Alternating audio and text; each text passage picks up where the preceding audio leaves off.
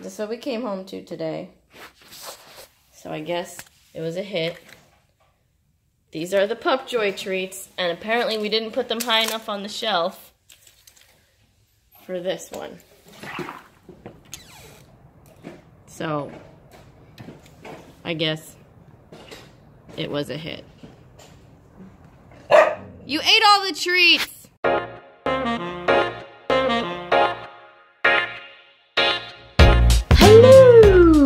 Hello! I don't know why I had to start that video like Mrs. Doubtfire. 2018 was the year of BarkBox. We got our first BarkBox and we got it pretty much every month. We loved it so much. We kept on getting it even after the first six month package that we had. Basically up until we had to move here. Hi, your breath. But I thought, you know, like we live in a new house and 2019 is a new year. So why not try something different? BarkBox isn't the only subscription box out there for dogs. So I thought maybe let's try whatever else is out out there. This year, I decided we would try Pupjoy. Oh, did, did you smell things already? There seems to be some like black seed-like things coming out of this box, so I'm a little nervous. I hope they're not like dead ants. Ew, ew, but let's get started. Are you ready? You missed unboxing videos. You get all the treats because you were good. Were you good? So we're gonna open the box. All right, so we've got some white paper and a nice sticker that has a wagging tail on it. Oh, and there's a little wagging tail in the box too. That's very cute with some hearts and some like dog houses. Oh, there's definitely some like stuff coming out of this box. All right, so I'm just gonna open this real quick. All right, so no frills paper, just regular paper. What is in here? All right, so the first thing we got, this is weird. Oh, everything is covered in some something. Lord, what is that? We got this weird looking warthog toy. Oh my god, Phoenix. Oh my god. It looks like a cow? A hog? It's got like tusks. I guess it's a warthog. It's got like a squirrel beaver body. That is so creepy.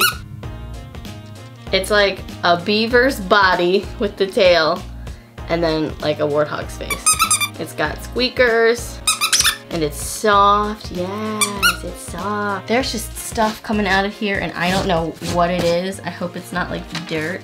Um, but there's only one plush toy in there, which is actually kind of a good thing because uh, I think Phoenix doesn't destroy them really that much, so we just end up piling up toys. I can't figure out what's causing all this like brown dust in the box, and it's just like coming out of the box. Here it is, can you see it?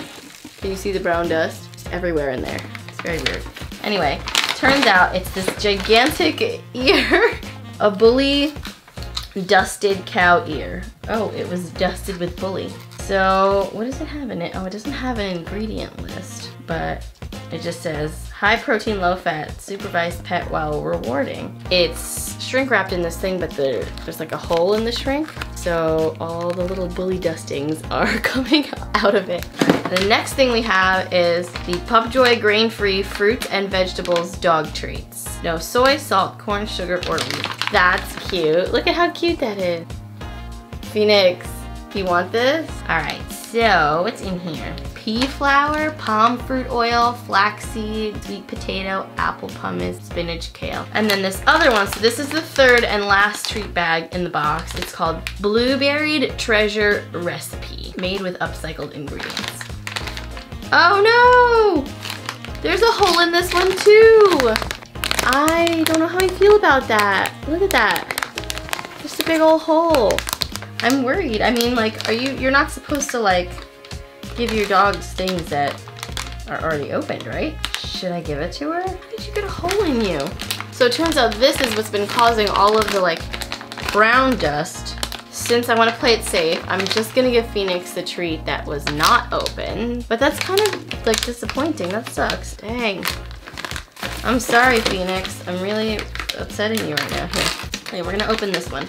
The grain-free fruits and vegetables. Ooh, it smells fruity. You want? Oh my god. Is it good? We can give you another one. It smells like... What do you smell like? Like bananas. That's what it smells like. Bananas. Are you going bananas? Ah! I want to give her this, but it just seems so ginormous. But you know what? I'll give it to her anyway. I'm not as worried about this one being opened because it's like dry, so I guess that's just like my rationalization for giving it to her, but I don't know about this. I don't think I'm gonna give her this one that was opened, only because I don't feel comfortable with it. I don't know, what do you guys think? You ready?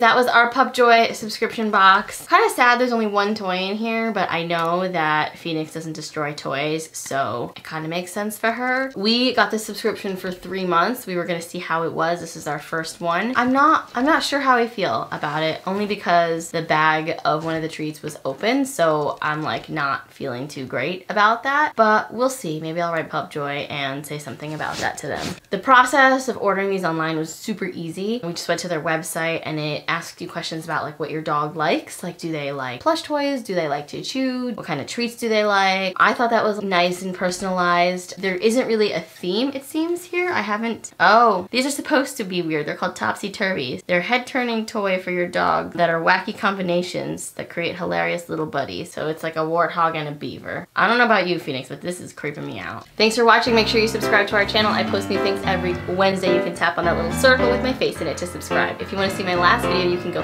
here. I got hair in my mouth. If you want to see my vlog channel, you can go down there. And now that we're at the end of this video, it's time for This is a Pillow.